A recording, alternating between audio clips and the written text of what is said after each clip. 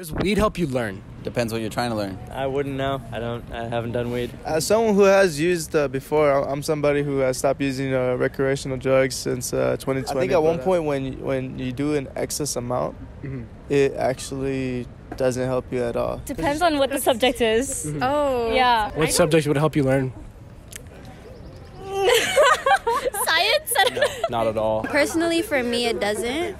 Yeah, same. It doesn't help. No, it doesn't. You start to fall in this hole of just like you know dependency and Mhm. it turns into addiction and so because i can be honest with you like I, I would say it did help me in high school Mhm. but when i abused it too much it didn't help It has the ability to give you different synaptic connections within your brain, Mhm. perhaps for music or other stuff. But overall, it probably makes you more stupid.